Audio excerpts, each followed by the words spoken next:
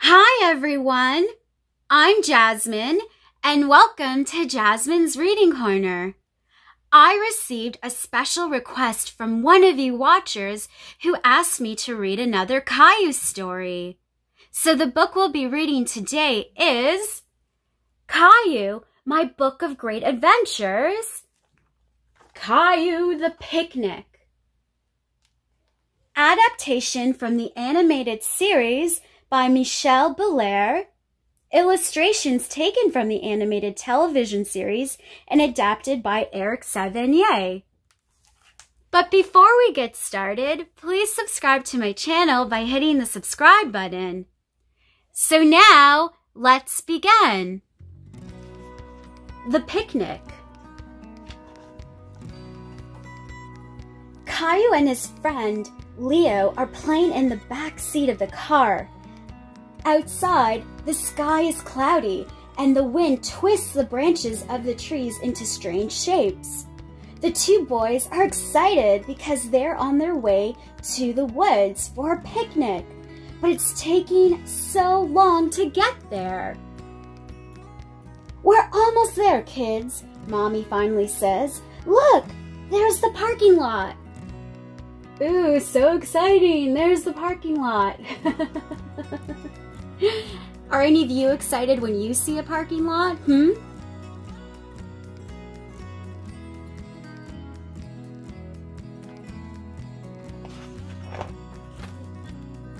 As soon as Daddy parks the car, Caillou and Leo run outside and put on their backpacks. They look up and see the clouds racing across the sky. They spot the picnic tables far in the distance. Mommy helps Caillou's baby sister Rosie out of the car while Daddy gets the picnic things out of the trunk. Can you all see that? I hope so. I'll go closer in.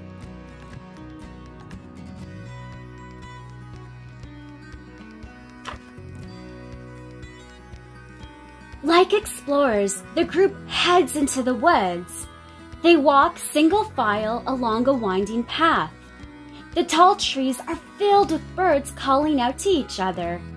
Caillou and Leo are wide-eyed with excitement as they lead the way. The fresh air smells so good. All of a sudden, they stop. It's so quiet. They feel like they are all alone in the forest.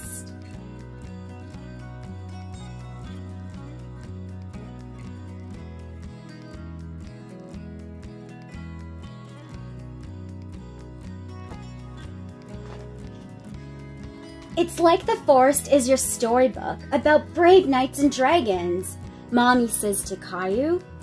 Yes, it is, Caillou answers. Caillou and Leo smile at each other, ready to find adventure.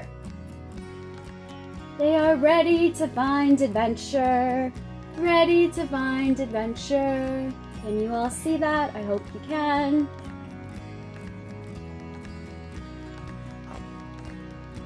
The two boys gobble down their lunch. They can't wait to go exploring. Caillou and Leo are already climbing to the top of a little hill. Don't go too far, boys, says Daddy.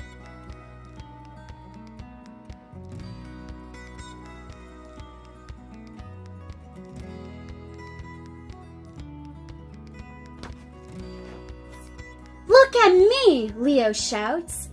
He has pulled a branch off an old, dried tree trunk. He waves it in the air. I'm a brave knight. This is my sword. Caillou snaps off his own stick and lifts it over his head. I have a sword too, he yells proudly. This is a big bad dragon, says Leo, hitting the tree trunk with his branch. Hit, hit, hit, smash, smash, smash. Yeah, we're fighting the bad dragon, Caillou calls back, swinging his stick.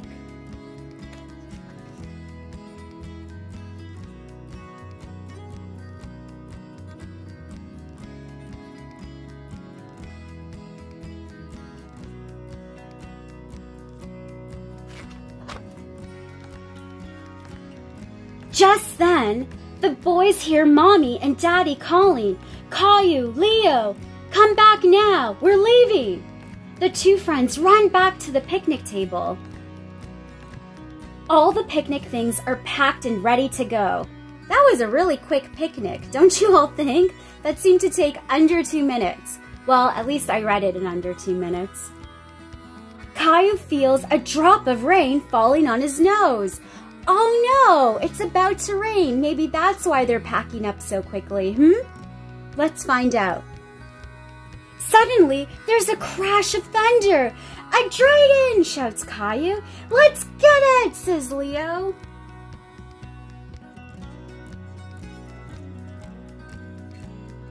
That worked out perfectly. The thunder and lightning sounds like a dragon that they have to slay.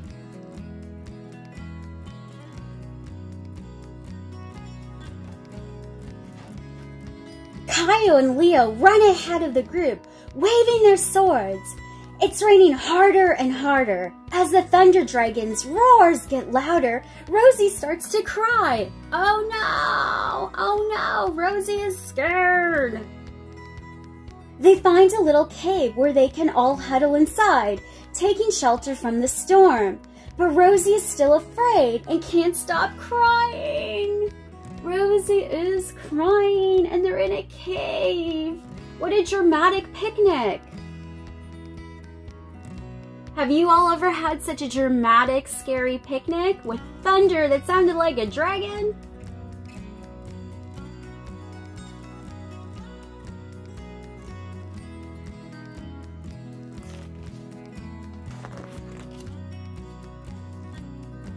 Look, Rosie, Caillou tells his sister. I'm a brave knight. Here's my sword. Me too, Leo adds quickly. We'll fight the dragon. Yeah, Caillou points his sword to the big black clouds in the sky. We'll protect you, he says. What a brave big brother. Are all of you big brave siblings to your younger brothers and sisters, hmm?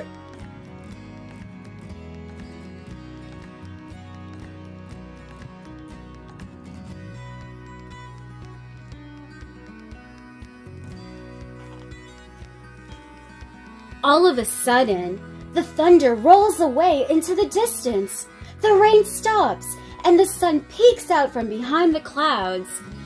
What a quick and fast thunderstorm. It comes as quickly as it goes. Rosie smiles. Caillou and Leo are proud of themselves as they once more take the lead back to the parking lot. Hey, my brave knights, Daddy says with a smile. Are you sure there are no more dragons around? Leo and Caillou laugh and wave their wooden swords. Don't worry, Daddy, we scared them away. Yeah, they scared them away. Team effort. They got rid of the dragon. They slayed it. It went away. Yeah, which was really just thunder and lightning from a rainstorm. But that's okay. We're all pretending here.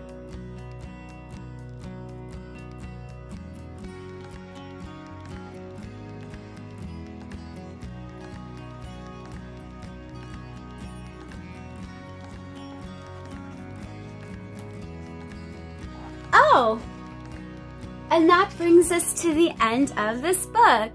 Thank you for joining me for story time at Jasmine's Reading Corner.